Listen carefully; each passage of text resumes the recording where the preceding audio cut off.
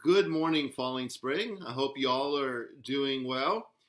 I've heard that school is now going to be closed until April 6th, so be praying for all of you, for everyone who's attending or working in schools as we deal with this new reality. I'm sure that one of the things we're all dealing with is I'm stuck at home. What am I going to do? Yesterday, I downloaded the movie Contagion and watched that. Not a good idea.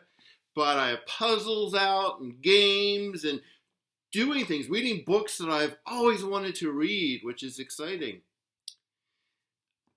It really occurred to me that one of the things that would help all of us is maybe going over some devotional methods that you can use with your family or friends anybody, with yourself during this hard time.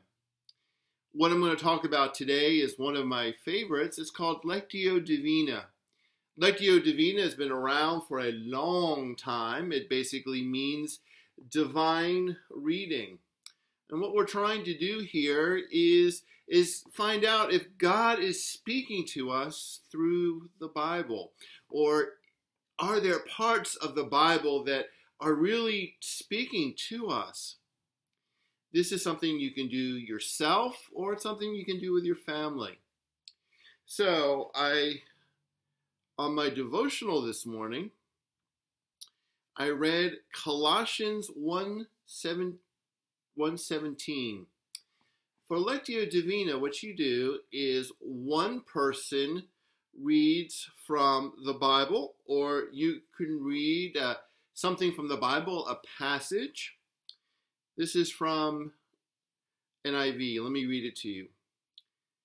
He is before all things, and in him all things hold together. So for Lectio Divina, after you read that, take time yourself or with your family and ask yourself, does any of this strike me? Did any of these words kind of leap out of the page? Then what you do is you go to another translation, or if you're doing it yourself, or another person if you're doing it with your family. This is the Passion Translation of the same thing. Colossians 1:17.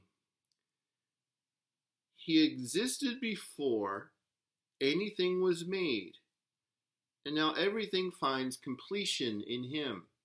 It's a little bit different, but is there anything in this translation that leaps out to you or to anybody in your family and talk about it?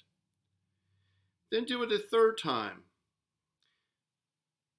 This is from the CEB, the Common English Bible. He existed before all things, and all things are held together in him. So again, three different readings of the same verse, done slowly. I did it a little bit quicker than we usually should, but does anything leap out to you?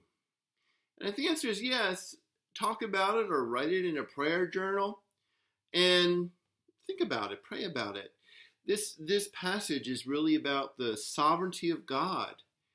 And that's a very important concept for the reformers and for us, knowing that God's in charge, God's got this, and we are all God's subjects.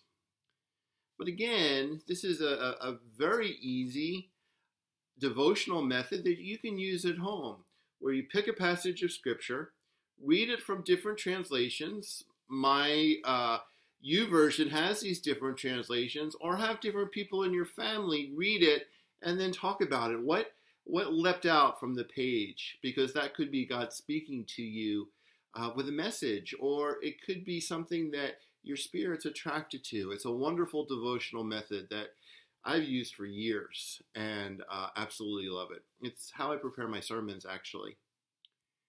Friends, I pray that all are doing well we are thinking about you. We are praying for you. I miss you. I miss seeing everybody. Let's pray. Glorious and loving God, we thank you so much for this day. We thank you for Lectio Divina, divine reading. And I just ask your blessing upon everybody who tries this. I ask that you speak to them, comfort them, give them thy peace. I also ask for everybody who may be dealing with coronavirus as a patient or as a provider. Surround them with your love and your comfort. I pray for my staff and all of the membership and visitors and friends of the Presbyterian Church of Falling Spring. May they know that you are God, we are your people. We're going to be okay because God is our King. Amen. And now may the grace of our Lord Jesus Christ, the love of God, and the fellowship of the Holy Spirit be with you today, this week, and forevermore. Amen.